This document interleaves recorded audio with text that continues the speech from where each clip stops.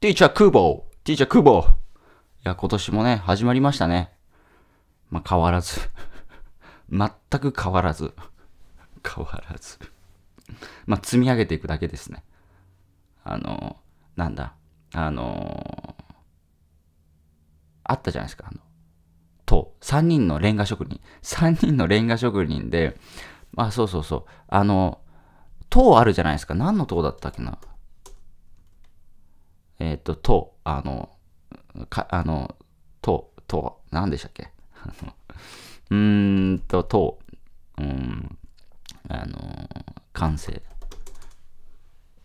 エッフェル塔、エッフェル塔か？エッフェル塔じゃないですね。えなんかあったっすよね。エッフェル塔じゃなくて、なんか、ちょっと思い出したら言います。あの、あ、なんとか、ファミリア、ファミリア、ファミリア。サグラダファミリア、サグラダ。サグラダファミリアだ。サグラダファミリア。2026年に完成らしいですね。これ、あれ、なんだ。開発、このサグラダファミリアは、こういつからやってるんですかねもう100年ぐらいやってるんですかね桜田ファミリア。2026年ですね。ということは今、2001年でしょあと25年後ですね。桜田ファミリア。完成ですね。ついに。うん。そう、桜田ファミリアね。これ何年作ってんだって話。すごいですね、これね。うん。はい。とそれとは関係ないんですけど、今回ですね、あ青木の紳士服です。青木の紳士服。これなんでかっていうと、久保さんの動画見てたら、最後広告が出てきたんですよ。久保さん。久保さんの動画に広告がついてましたね。それが、青木の紳士服です。だん、なんだろうな。まあ、ここから何が言いたいのかっていうと、なぜ青木の紳士服が久保さんの動画に出たのかなんですよ。で、これはいろんな考察ができます。いろんな考察がね。まず、じゃあ、青木の紳士服。じゃあ、青木って結構その、うん、どちらかというと、クリーンですよね。服。スーツみたいなね。紳士服みたいな。だから、一つは、久保さんの動画が紳士に見られてるっていうね。あ、この人真面目に動画撮ってるなって見られてたのかわかんないですけど。で、もう一つ。これはわかんないです。どう、どう見られてるのかね。うん、わかんないんです。Google さん。ただこれ、この一つは、まあ間違いないんですけど、要は、広告主は、の、いつ広告を出すかってなんですよ。だから今回お正月セールなわけですね、紳士服。わかります？多分この青木の紳士服は、えー、お正月セールするために、あのね、しかも多分、えー、今回コロナがあって全然売り上げ下がってるわけですよ。だからお客さん呼ばないといけないですよね。だから広告多分ね、あの、攻めて、攻めるはずです。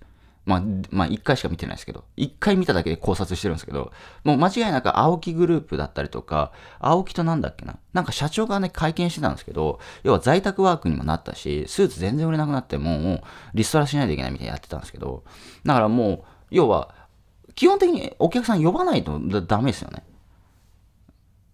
そうじゃないですか。ネットでスーツ買うってかなりハードル高くないですか だからもう本当に青木さんの戦略としては、ね、店舗に来てもらうしかないんですよ。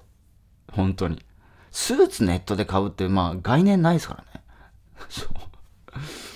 まあある人いんのかなさすがに難しいですよね。だから何が言いたいのかっていうと、その、お客さんを集めるために、企業さんは、ね、そういうね、お正月セールをするために、広告を出すわけですよ。バーンってお金払ってまで。